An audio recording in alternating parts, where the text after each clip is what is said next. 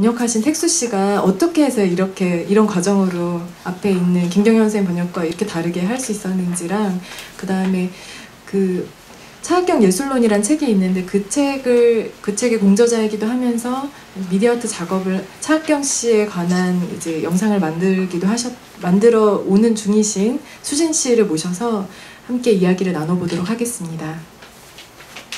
수 씨가 먼저 조금 이야기를 해주셨으면 좋겠어요. 그러니까 이전 번역이랑 사실 상당히 이게 다르잖아요. 네.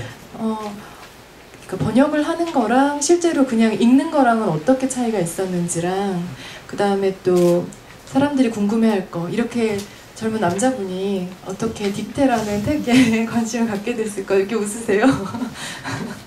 관심을 갖게 됐을까 궁금하실 것 같아요. 남자분들도 계시긴 하지만 사실 여기 신청하신 분의 거의 90%가 여자분들이시거든요.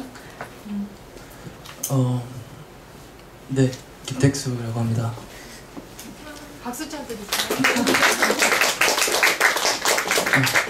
그 우선 그 제가 준과도 여러 번 얘기를 했었는데 딕테를 읽는다는 행위가 어, 크거나 작거나 나만의 딕테를 갖는 그런 그런 행위이기도 하다고 얘기를 했었거든요.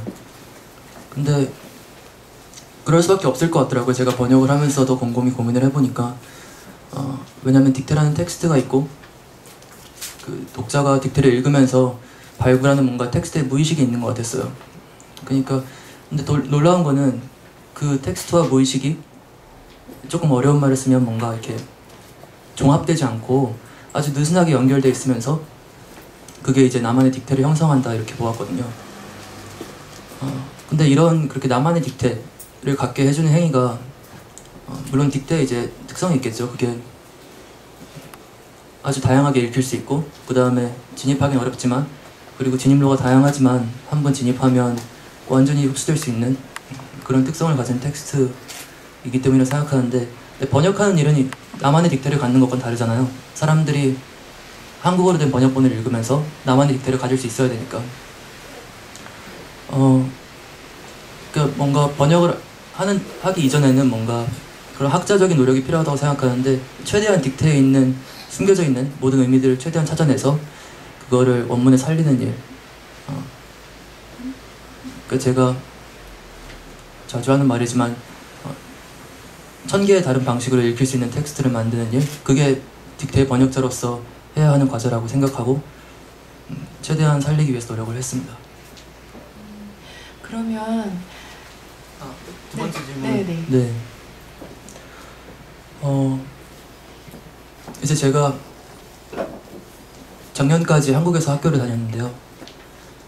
유학을 이제 결심하고 있던 즈음에 음, 비교문학을 공부한다고 그 제가 듣던 강의에 선생님께 말씀드렸는데 선생님께서 그러면 한번 차학경을 한번 읽어보라고 이렇게 얘기를 하셨어요. 근데 저, 저도 처음 들었었고 그게 작년 한 12월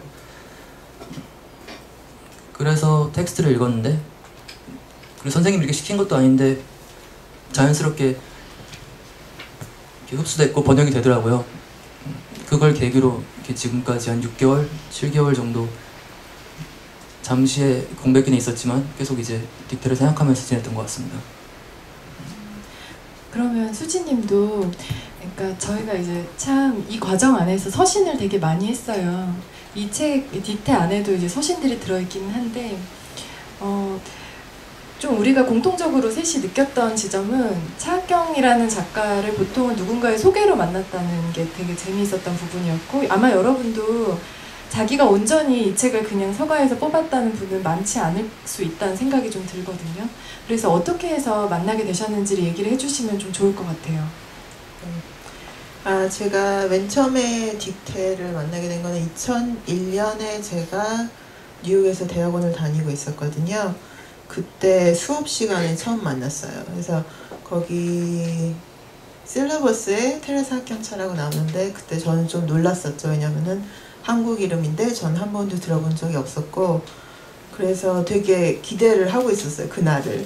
그 수업을 딕테를 하는 날을. 근데 저희 선생님은 프란시스 리처드라고 시인이시고 차학경에 대해서 이제 공부를 아니 관심을 많이 가지시고 그러시는 분인데 많이 가르치시거든요.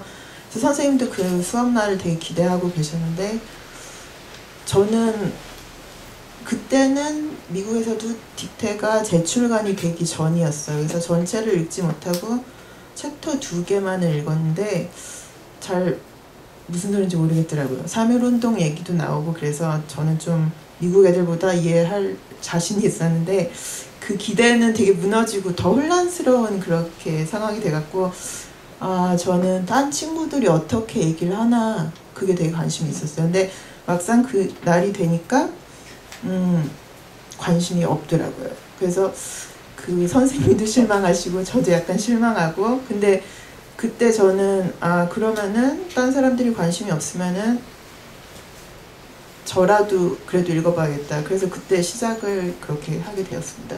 너무 길게 말 안 하려고. 아니에요, 아니에요. 그렇지 않아요.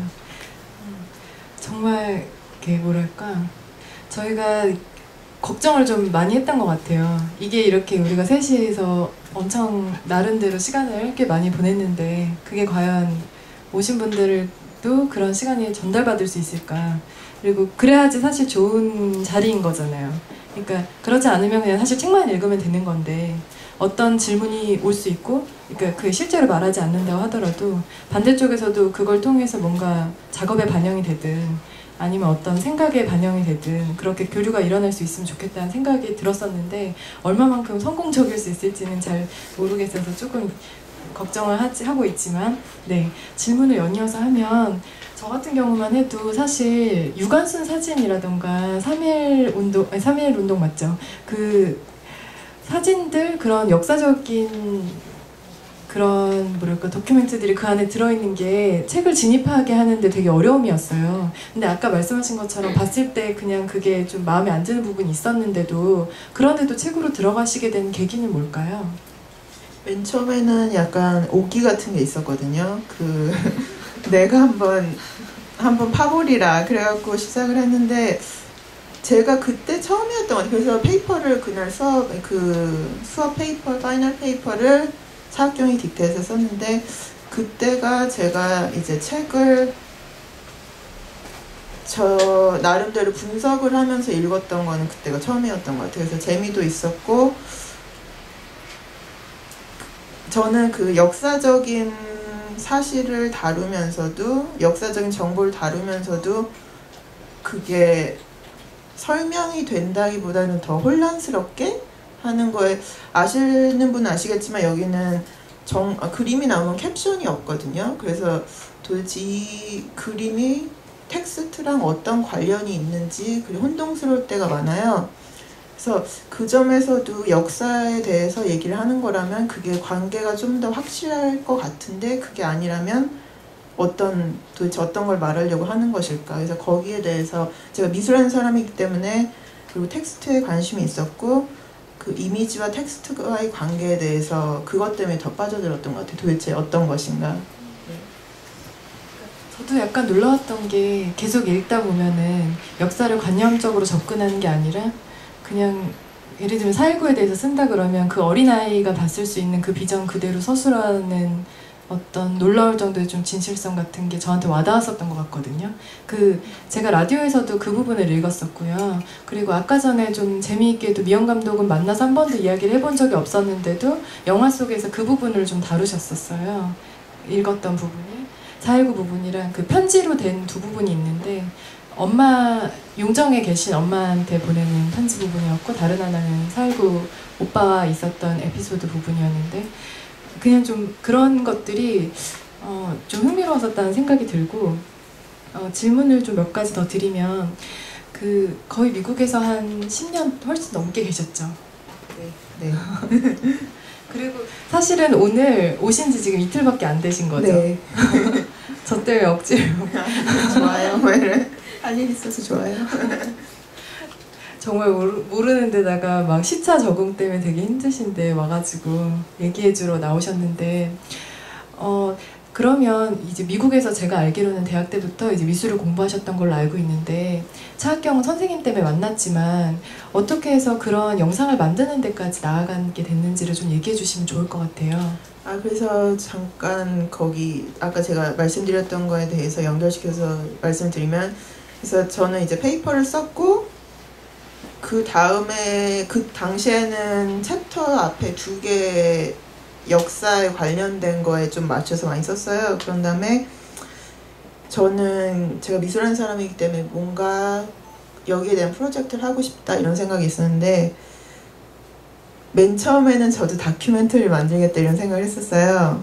많은 분들이 거기서 시작을 하시는 것 같은데 그리고 어, 이영 감독이랑 비슷하게. 네, 그래서 근데 저는 다큐멘터리를 만들어 본 적이 없거든요. 그래서 맨 처음에는 도대체 어떻게 해야 될까 이랬는데 제가 디- 딕테는 역사 쓰기에 대한 거라고 생각을 하기 때문에 다큐멘터리를 만들려면 역사에 관해서 다루는 거잖아요. 근데 거기에 대해서 제가 생각하기에는 제 자신이 하기에는 약간 모순이 있지 않나. 그래서 다큐멘터리에 대한 포맷은 형식은 어떻게 될까 많은 고민을 했어요. 그래서 그때가 2003년 정도 됐었고 그 다음에 저는 저는 이제 형식을 잡아야 시작을 할 수가 있기 때문에 많이 시간이 흘렀어요. 그 다음에 2009년에 벌크리에 처음 갔습니다.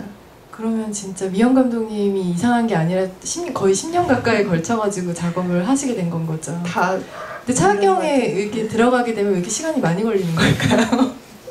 저도 잘 모르겠는데요. 그 근데 딕테 아까 같이 얘기 나눌 때 말했는데 딕테는 제가 특별하다고 생각하는 게 물론 오랜 세월을 지나서 많이 읽히는 책이 있긴 하지만 이 책은 제가 다시 돌아가면 돌아갈수록 어 제가 성장한 만큼 보일 수 있는 더 많이 읽을 수 있는 그런 책이라고 생각하거든요. 그래서 더 많이 걸리는 게 아닌가 싶어요.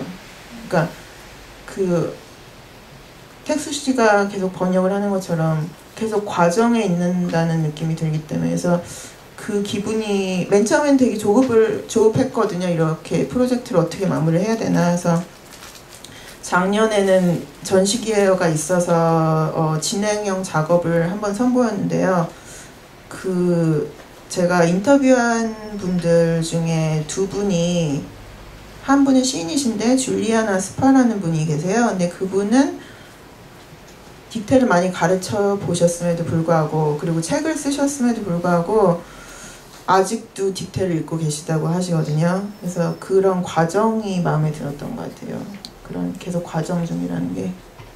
아, 그리고 저한테 얘기하셨던 것 중에 일레인 킴이라는 선생님도 있었다. 예, 그래서 일레인 킴이라는 분은 어, UC 버클리에서 지금 교수로 계신 분인데요. Writing Nation Writing Self인가 그런 책 그 편집하신 분이에요. 그래서 그분도 딕테를 많이 가르치셨는데 맨 처음에 그분도 되게 어려워하셨다고 그러더라고요. 그래서 맨 처음에는 정말 그 마음에 들지 않았다고. 근데 그러면서도 계속 한 읽게 되는 게 뭔가 마력이 있는 책이 아닌가. 근데 그분이 그렇게 말씀하시기를 내? 이야기. 내 스토리는 뭐예요? 아 메스터. 마스터라고 마스터 하기에는 마스터가 뭐 그런 관념에 대해서 다시 생각하게 하는 책이라고 그러니까 완벽하게 이해를 한 다음에 가르쳐야 된다고 언제나 생각했는데 사실은 그게 불가능하구나 그런 거를 느끼게 해준 책이라고 그렇게 말씀하셨습니다. 그와 관련해서는 텍수 씨도 그 예전에 김경련 선생님이 번역하신 판본에서 어, 그 후기라고 해야 되죠. 번역 후기 제일 마지막 부분을 저한테 요- 저희가 새벽에 통화를 되게 많이 했었거든요. 이 낭독회 때문에. 근데 그때 새벽에 되게 지- 진지해요. 서로 그런 얘기를 막, 뭐 한두 시간 정도씩 그런 이야기 나누는데 그때 이제 김경련 선생님이 쓰신 서문에 관해서 저한테 얘기, 얘기를 좀 해줬던 게 있는데 들려주시면 좋을 것 같아요. 아, 그러니까 저도 이제 당연히 김경렬 선생님 번역에서 제가 찾고 싶었는데 이제 드러나지 않는 부분이 있으니까 어떤 불만에서 이제 재번역을 시작을 했는데 어, 그럼에도 이제 그 김경렬 선생님께 되게 크게 감명을 받았던 부분 그리고 번역자로서 뭔가 조금 뭔가 약간 불행한 시간도 겪고 이러면서 막 그 6개월 동안 느꼈던 부분은 김경련 선생님이 이제 초판에서 역자 서문에 어, 글을 맺으시면서 날마다 나에게 새로운 것을 가르쳐 주었던 책 딕테 이렇게 말씀하시는데 이게 저는 만약에 제가 역자 후기를 쓴다고 해도 그 말을 그대로 썼을 것 같은 그런 느낌 때문에 뭔가 이렇게 갑자기 깊은 유대감을 느꼈던 그런 경험이 있었습니다. 어떤 다 각자 느끼는 나의 딕테라는 부분에서 그런 지점이 있었다는 생각이 좀 들었고 어, 저는 그리고 또 인상적이었던 게 어, 이제 오늘 사실 책에 관한 이야기이기도 하지만 이제 이분들이 어찌 보면 작업자들인 거잖아요. 그래서 그들이 어떻게 그것에 들어갔고 또 그것을 통해서 무엇을 만들어 갔는가를 듣는 게 또 책에 관한 이야기를 듣는 걸 거라는 생각이 들어서 제가 좀 더 질문을 드릴게요. 어, 저는 좀 재밌었던 게 수진 씨가 이 책을 접하고서는 차학경 씨한테 편지를 되게 많이 쓰셨대요. 돌아가셨지만. 근데 그게 너무 인상이 깊었어요. 어떻게 그렇게 됐지? 이렇게 생각해서 물어보고 싶었고, 그 다음에 오늘 오면서는 그 편지를 읽어, 읽어보셨, 여기 와서 읽으셔, 읽어주셨으면 좋았을 걸, 이런 생각을 뒤늦게 했는데, 그게 어떻게 된 거였는지 얘기해 주시면 좋을 것 같아요.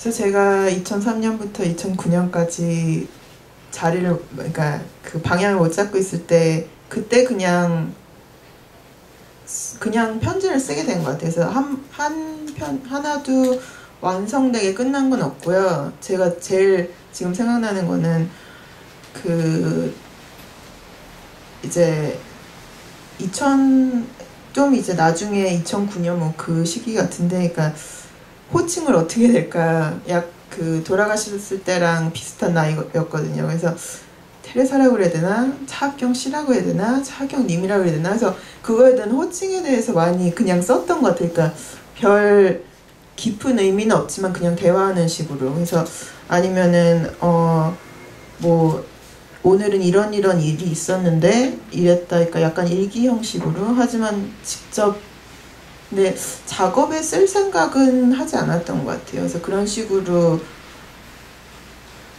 그냥 대화하는 식으로 하지만 저는 아까도 말씀드렸지만 그런 편지를 많이 쓰기 때문에 특별히 받지 못한다는 거에 대해서 뭐 생각은 해본 적 없고요. 아까 제가 여쭤봤거든요. 답장을 받을 수가 없는 편지를 계속 쓰는 게 어떤 기분인 건지, 어떤 마음에서 그렇게 할 수 있는 건지, 좀 그런 생각이었는데, 저도 편지를 되게 많이 쓰거든요. 희수 씨는 혹시 많이 쓰나요? 아니요, 저는 잘 안 씁니다. 저한테 많이 쓰시지 않았어요? 네, 그때는 좀 그때는 불행해서 되게 불행해서 네. 아, 번역 때문에? 번역 그때 제가 그 그런 거였어? 아니요 아니, 그런 건 아니지만 근데 작년 12월 30 31일 날 미국에 가서 어, 들어온 지는 얼마 안 됐는데요. 그러니까 6개월 동안 혼자 지내면서 공부를 하고 하면서 번역을 같이 했는데 그때 막 이제 그 출판 계획도 좌절되고 그리고 뭐 이런 이런저런 좀 개인적으로 안 좋은 일들이 있어가지고 어, 한참 불행하던 차였는데 그때 이제 편지를 조금 많이 썼던 것 같아요. 준 포함해서. 근데 평소에는 잘 안 씁니다. 지금 생각해보면 라디오 자체도 이제 실현당하신 분들이 참 많이 듣고 그 다음에 뭔가 가장 불행한 상황에 저한테 편지를 주거나 그리고서 불행이 이제 거치면 저를 잊는 경향이 주로 있는 것 같은 그런 생각이 문득 네, 들었습니다. 네, 다시 이분들이 되게 이렇게 더 이야기를 해주실 게 사실 너무 많아서 어떤 이야기부터 들어야 되나 좀 망설여졌던 부분이 있는데 어 제가 뭐랄까 서신들을 좀 주고받으면서 어, 문득 떠올렸던 책 중에 하나가 이제 이 책이었어요.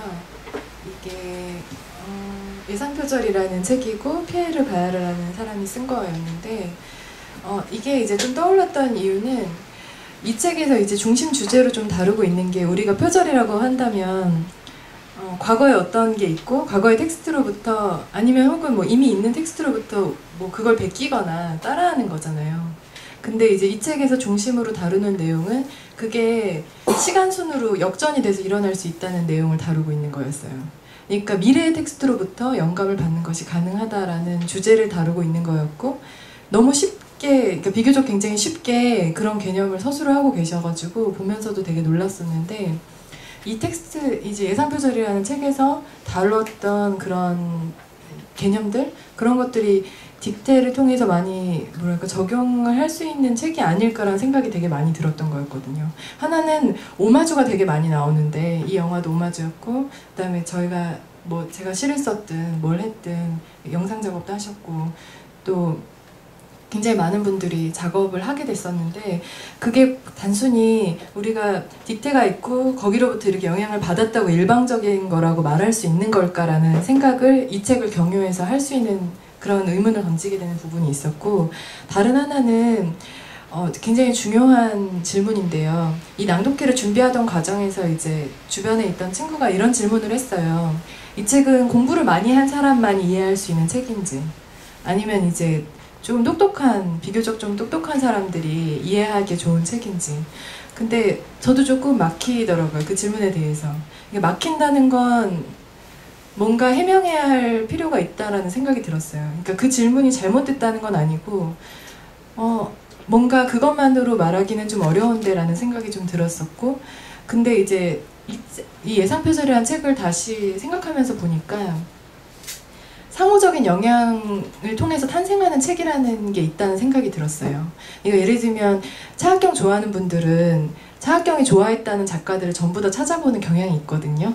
아마 여러분도 그런 세계로 입문하실지도 모르겠지만 이미 들어서셨거나 근데 뭐 뒤라스, 베케트, 뭐 나보코프 뭐 그 외에도 뭐 고다르라던가 레네라던가 굉장히 많은데 어, 그 작품을 읽고 나서 본 차학경이라던가 이 딕테라던가 아니면 딕테를 보고 나서 다시 그 작품들을 봤을 때 전혀 작가가 의도한 것과도 전혀 다른 작품이 이미 되어 있다는 생각을 했거든요. 그런 의미에서 그렇게 형성된 나의 딕테는 수많은 책들을 경유해서 만들어진 나만의 것, 뭐 나만의 것일 수도 있고 그 작가도 만들어내 상상하지 못했던 어떤 저작일 수 있지 않을까라는 생각이 들었어요. 그리고 그 이 예상표절이라는 책에서 말하는 거는 상호적 영향이라는 단어를 써가지고 얘기를 했던 거였는데 저는 그냥 뒤라스가 특히 많이 그랬는데 뒤라스를 읽은 뒤에 차학경이랑 차학경을 읽은 뒤에 뒤라스는 완전히 다른 책 작가라는 느낌이 받았고 그걸 통해서 이제 독서가 더 풍부해진다는 느낌을 받았던 거였거든요. 그러니까 단순히 그냥 똑똑한 사람이 더 많이 읽고 잘 읽고 이런 차원은 아니었던 것 같고 그래서 다른 두 분에게도 조금 그 질문을 드리고 싶었고 여쭤보고 싶었던 것 같아요. 그러니까 차학경과 관련돼서 영향을 차학경 영향을 받았다고 생각되는 그런 텍스트 중에서 어떤 것을 좀 읽으셨는지와 그 다음에 그런 상호적 영향 안에서 어떤 식으로 좀 더 풍부해지는 경험이 있었을 것 같아서 그런 얘기를 들려주시면 좋을 것 같아요. 어, 그 이제 제가 딕테를 처음 저, 그 받아들었을 때 제목을 보고 느꼈던 건 이제 받아쓰기니까 아 이거 그럼 자동 기술법이네 이런 생각이 들었어요. 초현실주의에서 얘기하는 그 자동 기술법. 음, 근데 이제 공부를 좀 하면서 차학경 영향을 받았다는 작가들 목록을 살펴보니까 초현실주의에 대한 얘기는 없더라고요. 음, 그래서 근데 책을 읽으면 읽을수록 이제 초현실주의에 대한 직접적인 암시 이런 것들이 조금 확연히 들어가는 것 같았고 음, 그래서 저는 이제 그 앙드레 브레통 위주로 초현실주의 위주로 그 다음에 이제 여러 사상가들의 이제 그 이론들 위주로 공부를 했던 것 같습니다. 제가 이제 그 앙드레 브레통을 특별히 강조하고 싶은 이유는요. 음, 아까도 말씀을 드렸는데 이제 딕테를 읽는 게 제가 준한테 이런 말을 했어요. 그러니까 연애하는 거랑 비슷하다고 수진 작가는 동의하지 않았지만 우리가 연애한다는 게 아니라 네. 책이랑 책이랑. 아 그럼요. 네. 어 근데 이제 책자에도 있는 그 잔다르크 순환 또는 열정을 감독한 칼 드레이어의 마지막 작품인가요? 게르트루드를 보면 가장 마지막 장면에 이제 사랑이 전부이다 이런 이런 얘기가 나와요. 그리고 사랑 그리고 물론 여성의 순환 자체가 이제 드레이어의 전 저작에 걸쳐 있어서 관통하는 주제이기도 했지만 그 사랑에 대해서 이제 초현실주의로 딕테에 다가가는 게 좀 더 많은 암시를 줄 수 있을 거라 생각을 했거든요.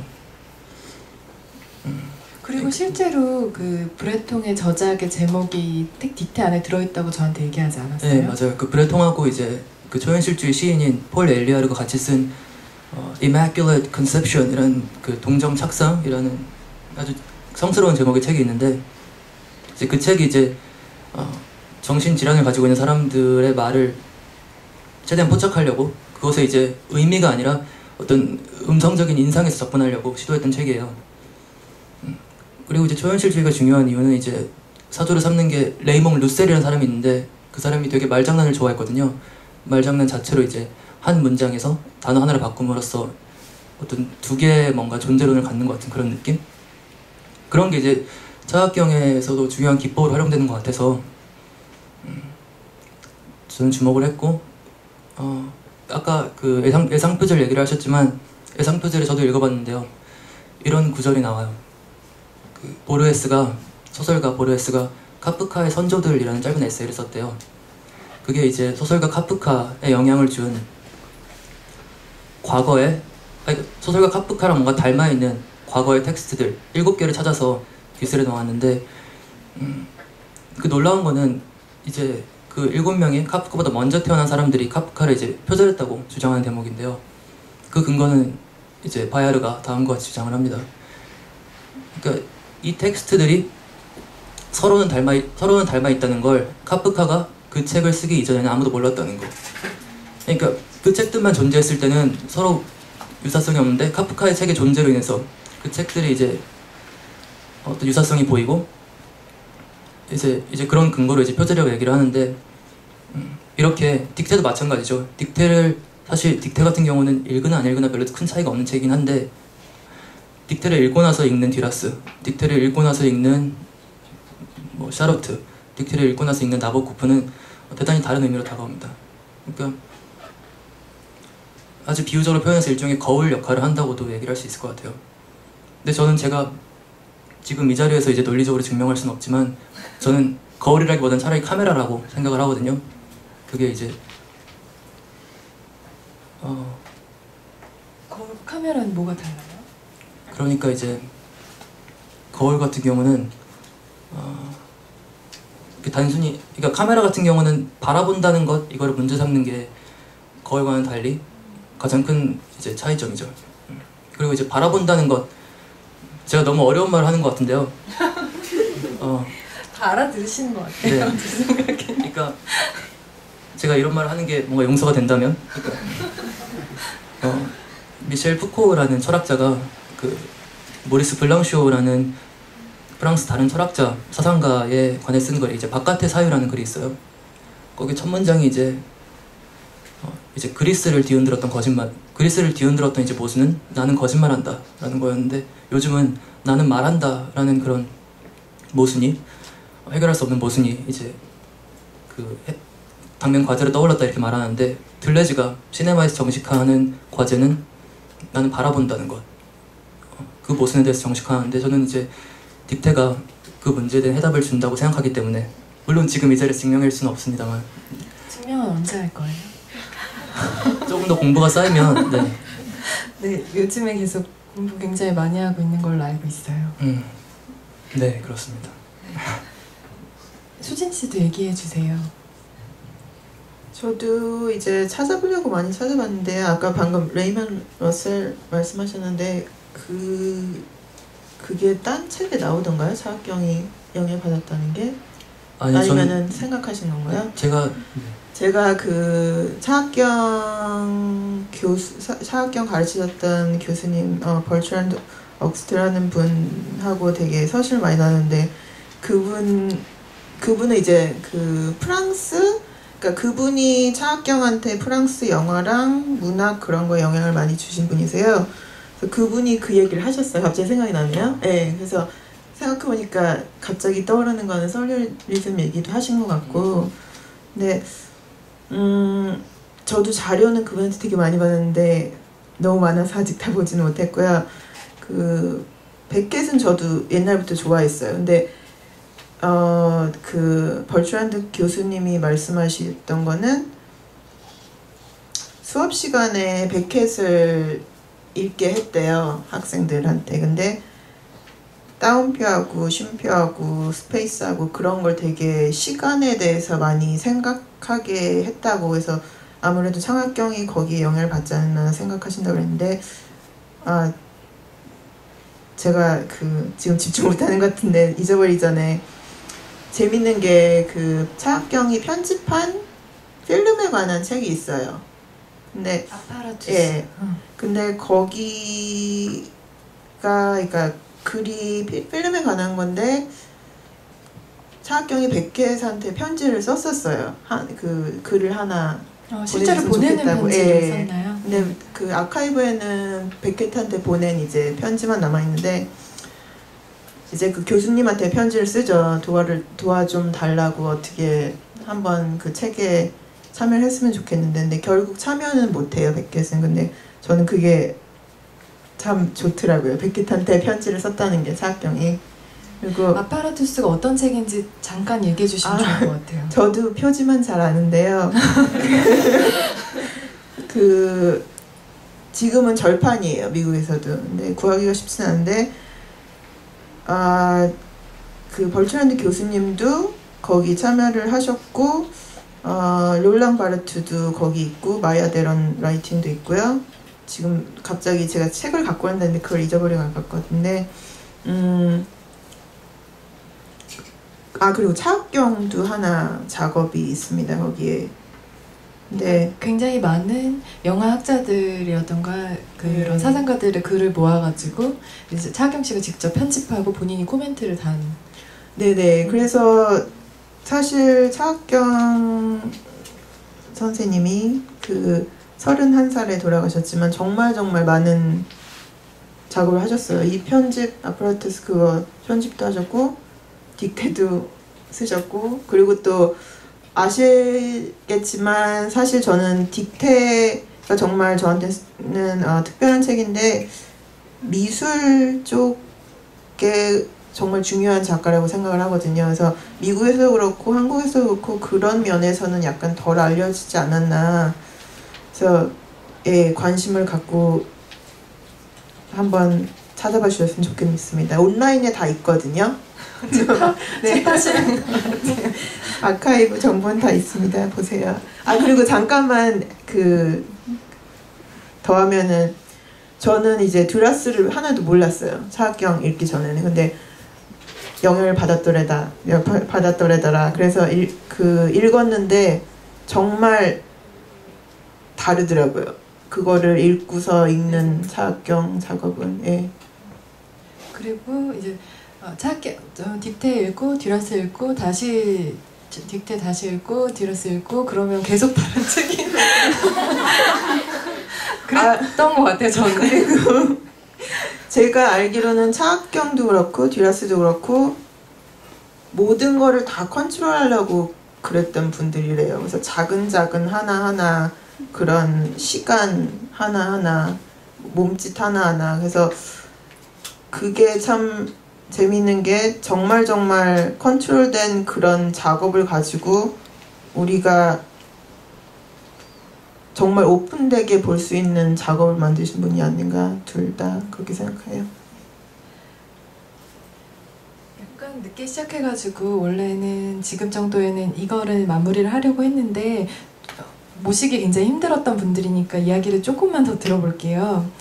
그 어, 제가 좀 더 듣고 싶었던 네 제가 질문했던 거 뭐였죠? 똑똑한 사람들 을 이렇게 아 맞아 그거 얘기를 안 했다. 그거 굉장히 중요한 거 얘기 하나 안 했어요. 그러니까 상호적 영향에 대한 것도 있고 이게 제가 주- 질문 받았던 거 똑똑한 사람들이 이거 읽는 거냐고 했을 때 어, 거기에 대해서 그 텍스 씨가 잠깐 메시지로 저한테 어 뭐라고 했죠? 진실한 읽기가 있, 있을 뿐이라고 했나? 진지한 읽기. 진지한 읽기가 있을 뿐이라고 했는데 그게 되게 감동받았던 것 같아요. 저는 어, 그거 얘기 조금 해주세요. 아. 어디에 왜 그렇게 생각했는지. 그러니까 어, 차학경이 무엇보다 형식을 중요시한 작가라는 것은 조금 명백할 것 같아요. 그러니까 제가 그때 메시지 얘기가 나왔으니까 그때 보냈던 메시지는 이런 내용이었어요. 그러니까 전부 다 노동자를 위해서 글을 쓰고 영화를 만들었던 감독들. 그때 예, 건데- 캔로치가 네, 근데 켄 로치와 고다르 고다르 비교를 했어요. 고- 그리고 작가로는 이제 조지 오웰과 어, 제임스 조이스. 이제 조지 오웰은 누구나 쉽게 읽지만 제임스 조이는 제임스 조이스는 아무도 안 읽잖아요. 아, 조지 웨일도 잘 안 읽긴 해요. 네. 근데 이제 물론 이제 경향성을 따지자면 차학경이 그 후자에 있는 작가인 건 거의 확실한 것 같은데 음, 그리고 물론 이제 아는 게 많으면 많을수록 이 책에서 더 많은 걸 읽어내고 그 다음에 더 많은 아, 이런 표현은 좀 부적절한 것 같은데 더 많은 끈을 느낄 수 있을 것 같긴 한데 음, 일단 제가 진지한 읽기만 있다라고 강조드렸던 거는 이런 의미에서였어요. 그러니까 저는 당시 이제 좀 번역본으로 읽으면 그게 잘 전달이 안 된다고 생각하는데 저도 영어를 읽었을 때 물론 제가 잘 이해되는 부분이 있었지만 또 많은 부분이 잘 이해가 안 됐어요. 근데 이제 그 문장들을 간직한 채로 읽었던 책이 이제 나보코프의 책이었는데 음, 그러니까 이제 딕테가 무슨 말을 하는지 알 것 같더라고요.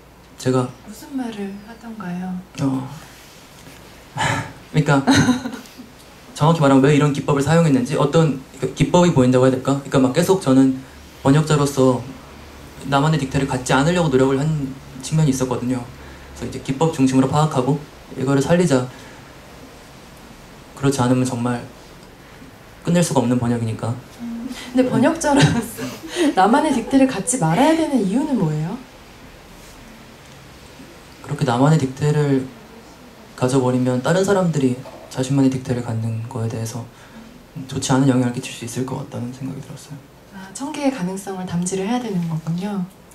네, 목표는 목표는 네. 수진 씨는 혹시 생각 있으세요? 그 똑똑한 사람 네. 읽는 책이요.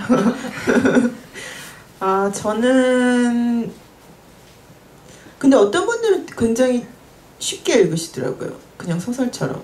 직관적으로 읽으시는 분들을 처음 처음 보는데 그렇게 읽는다는 분을 봤을 때 너무 놀라운 것 같아요. 저는. 네, 그리고 부럽죠. 근데 네, 저는. 읽기는 어려운 책이라고 생각하지만 똑똑하거나 뭐 이렇게 이론적으로는 많이 알아야 된다고 생각하지 않는 게 그 차학경 그분이 먼저 이론을 되게 많이 공부하셨어요. 하지만 이론 그러니까 이론은 알고 그 다음에 이제 자기 자신의 작업을 위해 그냥 그걸 바탕으로 깔고 하셨을 뿐이지 딕테라든지 아니면은 음, 미술 작품 같은 경우는 그거를 알지 못해도 저는 볼 수 있다고 생각하거든요. 그리고 사실 이거를 다 안다고 제가 조금 리서치를 더 많이 했다고 사실 제 제가 뭐 옳다거나 아니면은 권위가 있다거나 이렇게 생각하진 않고요. 그러니까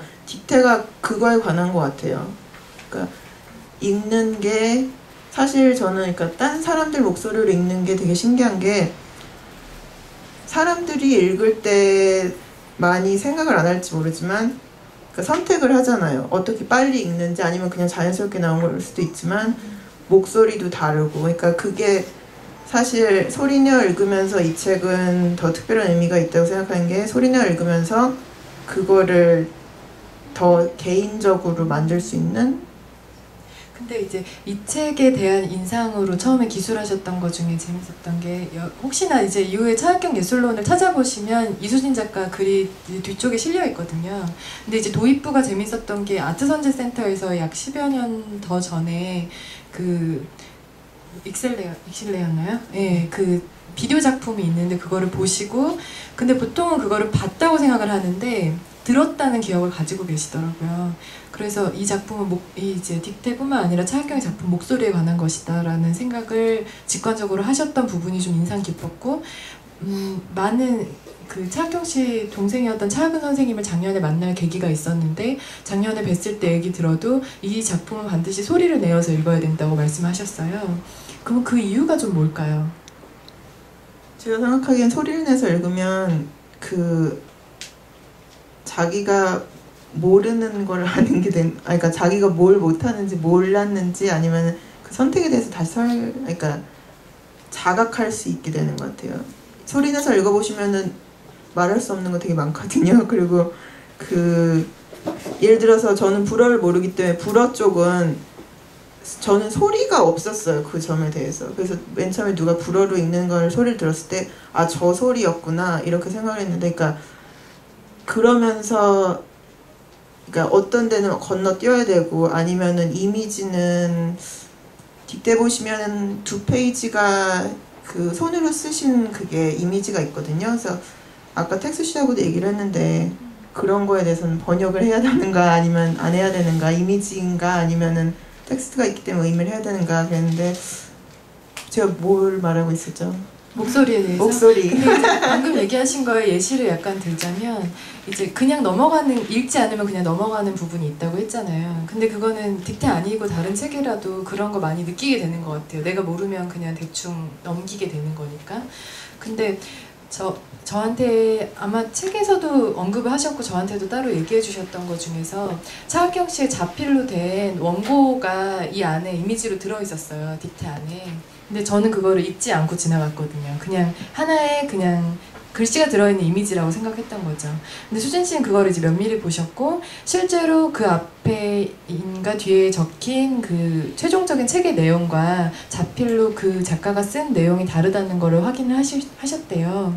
근데 그 확인하시고 그런데 왜 작가가 그 두 가지를 넣었을까요? 그리고 번역본에는 그 사진에 있는 텍스트는 번역되지 않았거든요. 근데 이제 예를 들면 번역자에게 있어서 중요한 선택이라는 것도 그 이미지에 있는 그 텍스트를 번역할 것인가 말 것인가부터가 번역자에게 되게 주어지는 큰 뭐랄까 책무 같은 걸 거라는 생각이 들었어요. 자기가 그거를 어, 어느 정도 이건 해야 되고 이건 하지 말아야 되는지를 받아들이는 건가가. 근데 그러면 약간 연이어서 택수 씨는 이 번역에 있어서 좀 이것만은 꼭 해야 된다라던가 신념으로 좀 삼으셨던 부분이 있는지가 궁금할 것 같아요. 다른 분들이 왜냐하면 좀 많이 다르니까. 그러니까 이 책이 이제 아까 질문하시 아까 질문하셨던 거랑 연이어서 생각해 보면 소리 내어서 읽, 읽어야 되는 책이다 이렇게 그 차학경 씨의 동생분이 직접 말씀하셨다고 하는데 보통 그런 말들은 이제 책이 너무 난해할 때 작가들이 많이 하잖아요. 근데 네, 막 그런데 이제 그런 지점들이 분명히 있어요. 그러니까 어, 귀로 들었을 때 어, 그, 그런 어떤 언어 유희로 인해서 어떤 그리고 오독으로 인해서 다르게 읽히는 데, 되는 부분이 있고 눈으로 봐야만 확인할 수 있는 부분들이 있거든요. 음, 일단 근데 그런 부분을 살려야 된다는 것. 그러니까 그게 아까 제가 그 천기의 의미랑 뭐 너무 맞닿아 있는 부분인 것 같고 또 하나 신념이 있었다면 이 책이 갖고 있는 어, 리듬과 간격에 대한 논의였어요. 그러니까 소리로 읽어 소리 내어서 읽어야 한다는 그 말은 이런 데서 적용되는 것 같아요. 그러니까 어떤 문장은 너무 길고 어떤 절들이 그냥 별다른 연결성 없이 연결되어 있는 게 한 문장이라고 해서 그걸 눈으로 아무리 읽어도 읽히지 않고 이해가 안 되는 그런 문장들이 꽤 많아요. 근데 그거를 그 영시 분석할 때 강약, 약, 뭐 약강 이런 식으로 다 syllabus를 다 아, syllable를 이렇게 다 분석해서 읽어보면 자연스럽게 의미가 분절되고 이해가 자연스럽게 되는 지점이 있어요. 어, 근데 그렇게 분절해서 읽어보신 거죠. 네. 음. 네, 그래서 그런 것들 좀 살릴 수 있으면 좋겠다라고 생각을 했고 그 다음에 그 아까 말했 아까 말씀하신 것처럼 그 옆에 불어가 있고 오른쪽에 영어가 있는데 그 둘이 이제 의미의 차이를 나타내는 지점들이 있어요. 그런 간격에 대한 논의 제가 번역한 시에도 간격에 대한 논의가 있는데 그런 간격을 좀 살리는 것 네, 이런 것도 조금 반드시 지켜야 되는 그런 네. 그리고 번역하면서 발견해냈던 부분들도 있는 거죠. 그 보니까 그 시 부분은 보시면 첫 번째 번역이랑 두 번째 번역이 이제 많이 다른데 두 번째 번역 부분에는 그 원문의 띄어쓰기가 한 칸 이상이 된 부분들이 있었고 그거를 이제 다시 번역하면서 알게 된 거였어요. 왜 그렇게 되어 있을까? 왜냐하면 김경련 선생님 번역본에는 띄어쓰기가 뭐 한 칸 이상이라는 건 중요치 않은 그- 그렇게 표기가 안 되어 있었거든요. 근데 다들 영어본이 없으셔서 제가 어떻게 설명할 수 있을지 모르겠어요. 그러니까 음, 그- 그 부분은 이제 이런 부분입니다. 그 마지막 세, 마지막 세 줄을 말씀하신 건데요. 그 영어로 읽으면 마지막 세 번째 줄이 No distinction her body, invariable, no dissonance 이건데 어, 물론 이제 이, 이 대목에서는 전체적으로 단어들이 이제 서로의 영향을 받고 서로를 반사하는 어떤 거울처럼 어, 그렇게 되는 측면이 있는데 여기서 이제 겹치는 부분이 no하고 this라는 부분이에요. 근데 이걸 잘 들여다보면 불어로 불어로 this가 d로 읽히고 이게 tu dis 이럴 때처럼 나는 말한다, 너가 말한다. 그래서 말하지 않는다라는 불어에 익숙한 사람이라면 읽을 수 있거든요. 그 no 아, 그 문형을 그렇게 읽을 수가 있는 거예요. 네, no this를. 그래서 이제 그런 부분, 어, 근데 이게 그래서 말을 하지 않는다 뭔가 저는 그래서 실어로 번역을 했는데 어, 그게 이제 마지막 세 번째 줄에 가면 이런 문장이 나옵니다. 어, decomposes, eclipses라고 이제 이런 영어 단어가 있는데 아, 그리고 to become yours, decomposes, eclipses, to become yours. 근데 희한하게 decomposes는 한 단어인데도 불구하고 해체하다, 분해하다 이런 뜻인데 어, D와 compose 그러니까 E와 C 사이가 띄어져 있어요. 근데 아랫줄에도 become 같은 경우도 한 단어인데도 불구하고 E와 C 사이가 띄어져 있습니다. B, E, 그 다음에 come 이렇게. 어, 그런데 왜 E와 C 사이가 띄어져 있을까? 분명히 우연이 아닐 텐데 집요하게 수색을 하던 결과 이제 그 앞에 이제 앞에 eclipse라는 단어가 있어요. 근데 이제 여기서도 뭔가 그러면 E와 C가 당연히 띄어져야 될 것 같잖아요. 그러니까 아무래도 거기에 주의를 기울이고 읽다 보면 eclipse라고 읽는 게 아니라 eclipse 이렇게 읽게 됩니다. 근데 이게 불어 단어랑 똑같거든요. eclipse, eclipse 이러면은. 근데 이제 불어 단어에서는 영어에서는 그냥 eclipse가 일식, 월식을 의미하지만 불어에서 일식을 하려면 아, 월식이라고 하려면 eclipse de la lune 이렇게 발음해야 되거든요. 항상 이제 달의 이지러짐 이렇게 발음을 해야 됩니다. 그러다 보니까 이제 이게 불어식 발음이 됐으니까 뭔가 뒤에 혹은 앞에 D가 나와야 될 것 같고 그런 이유 때문에 앞에 D composes가 분절된 게 아닌가 이런 생각을 하게 됐어요. 그러니까 단어들이 서로를 반사하는 거울이고 그 서로에게 쉽게 영향을 받고 이런 것들은 어, 차학경이 좋아했다고 하는 말라름의 영향인 것 같거든요. 그래서 그런 부분들을 제가 살리기 위해서 노력을 했는데 그리고 그 부분을 살리기 위해서 이제 번역을 개정을 했는데 어, 잘 살아났을지는 모르겠습니다. 아마도 그 과정에서 좀 더 계속 변화되지 않을까라는 생각이 들었고 앞에 같이 있는 김경련 선생님 번역을 보면 어떻게 완전히 다르게 받는지를 아실 수 있을 거라는 생각이 들어요. 그러면 시간이 조금 많이 돼서 만약에 이제 이후에 관심이 있으신 분들은 더 남아 남아서라던가 뭐 어딘가에 가서라던가 이야기를 하도록 하고 어, 마지막으로 한 마디 정도씩 어, 하시고 싶으신 말씀이 어, 최후 진술은 아니지만 음, 이게 하실 수 있는 게 있으면 해- 우리가 이제 밤에 나눴던 되게 많은 이야기들이 있지만 다 하지는 못했잖아요. 뭐 백개트에 관한 것도 있었던 것 같고 또 음, 뭐가 내가 뭐라고 그랬죠? 그러니까 백게트에 관한 얘기는 제가 어제 한 건데 어, 오늘 새벽에 했던 건데 이런 얘기였어요. 그러니까 백게트는 아일랜드 작가입니다. 그리고 어려서 프랑스어를 같이 배운 게 아니라 꽤 늦게 대학 고등학생이 되어서 이제 프랑스어를 배웠던 사람이에요. 그러니까 모국어가 확실히 영어죠. 어, 그런데도 이제 스무 살 무렵에 그 프랑스의 교환 교수 같은 걸로 건너가서 정착을 하게 되는데요. 이제 초기 작들은 물론 영어로 썼지만 그 다음 작품들은 되게 특이하게 불어로 이제 처음 쓰기 시작했어요. 근데 그 과정이 대단히 고통스럽다고 합니다. 왜냐하면 영어가 모국어인 사람이 불어로 미리 쓰여진 거 없이 쓰, 쓰려니까. 그래서 그렇게 아주 힘들게 불어를 써냈는데 그 다음에 또 그 그 자신이 영어로 그걸 다시 번역했다고 해요. 그것보다 거의 더한 고통으로. 네, 그게 되게 웃긴데 많은 평자들이 이제 그게 이제 베케트가 20세기 최대의 작가라고 불리는 이유 중 하나일 텐데 뭔가 문장이 두 개의 존재론을 지닐 수 있도록 음, 그렇게 의도를 했다고 해요. 그런데 왜 이제 하필 불어였느냐라고 물었을 때 베케트가 여러 가지 답을 했는데요. 그 중에 한 가지는 이제 불어가 스타일, 그러니까 문체 없이 쓸 수 있기 때문에 두 번째는 불어의 어떤 weakening effect 때문에 그러니까 뭔가 스, 그 쓰러지는 듯한 그런 효과 때문에 불어를 택했다고 합니다.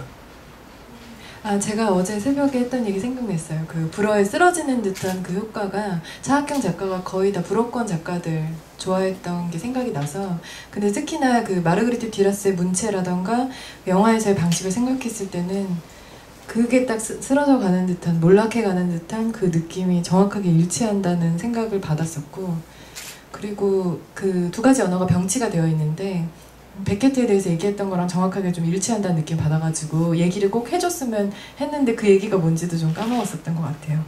수진 작가도 얘기해 주세요 하나 정도. 아, 하나 제가 아까 얘기를 하려고 했는데 못한 게 그 여기 아까 텍스 씨가 어, 읽은 부분에 나오는데요.